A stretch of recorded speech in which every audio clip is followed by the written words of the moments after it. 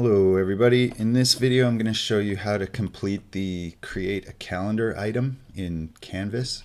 What we want to do is create a calendar event for this course here, which is my sandbox course. Uh, so what we want to do is go to our calendar on the on the left in the global navigation list. We're going to select calendar. And it's going to show you a view such as this. You can always change the view, week, month, up, up in the top here. And some instructors like to work with, an, with a calendar. It's just kind of takes you back to the old days of just writing on your calendar.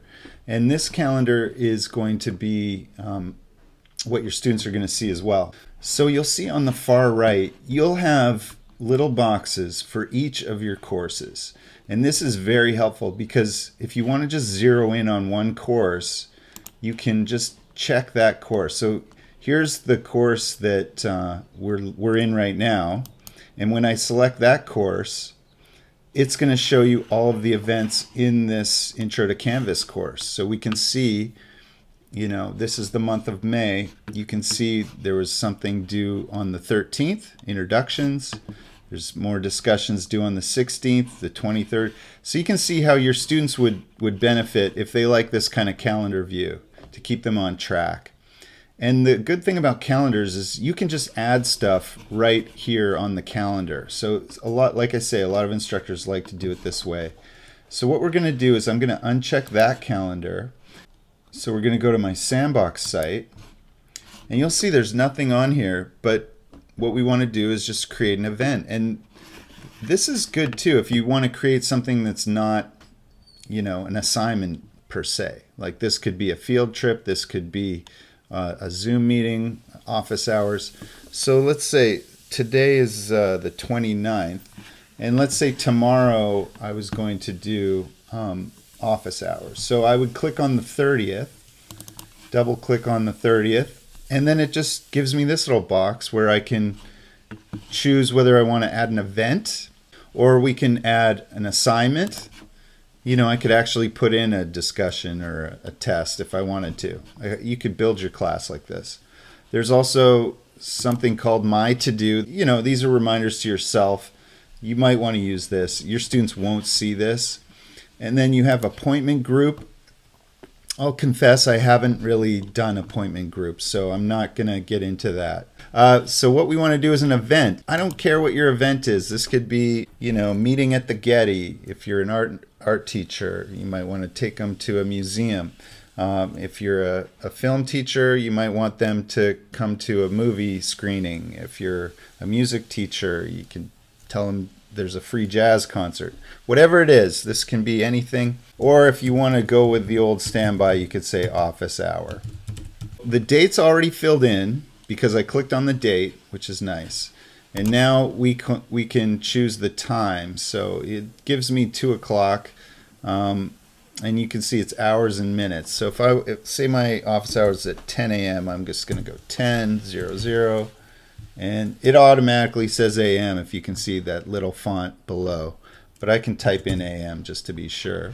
And then 2 and then you obviously I could go 12 p.m. and and that's whoops 12 p.m. let's see if it'll just do 12 this might save us some time here. Okay. And then location uh, I could say in Zoom if I wanted to. Uh, and then you have, you can actually choose the calendar. So I'm in the right calendar. I selected that calendar earlier. But if, if for some reason I didn't, I could, I could change it here. Uh, more options, let's try that out see what it is. And more options is going to give you this space here where you can add more detail. So if I wanted to, I could put in my Zoom invitation here, or I could say, um, you know, uh, this will be in Zoom. And then what I like to do is I can ma actually make this a link.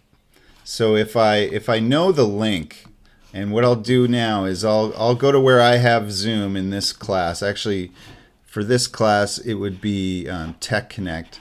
So what I'm going to do is I'll right click here and then I'm going to copy the link address. I could have just clicked on this and copied the link as well. Uh, but yeah, either way, I'm just going to get the link to Zoom in my course and then I'll highlight the word Zoom. I'm going to use this little link icon here in the new editor and I'm going to use external links. I know it's in the course, but course links, it's it's really limited. If I hit course links, it's only going to show me the basic stuff. It, it doesn't show me um, my Zoom link. So, so that's not the one we want. We want a, an external link here. And then we can paste in below where it says link. I can right click, paste that link in, and that's going to take them to the Zoom tool. So I'll click done. And then I can click save or, or sorry, create event, blue button. All right, event saved successfully. And now you'll see on my once blank calendar, now on the 30th, I have office hour, and that's where my students can see that. And they'll also see this on the syllabus, which is really convenient. And they probably will see this also on their to-do list. And uh, it's kind of a nice feature for you to add these events that aren't necessarily assignments, uh, but you want them to show up for your students. So now if I click on this, it'll it'll do it'll show me a little preview like this and I can test my link. Always test your links if you create a link. And that's going to take the students right to Zoom. So that link worked. This is where my Zoom is in this course. Uh, now I would have to actually create the Zoom event, but we won't get into that. So now that that's done, you can just copy the link to this and submit it as the assignment. Thanks for watching.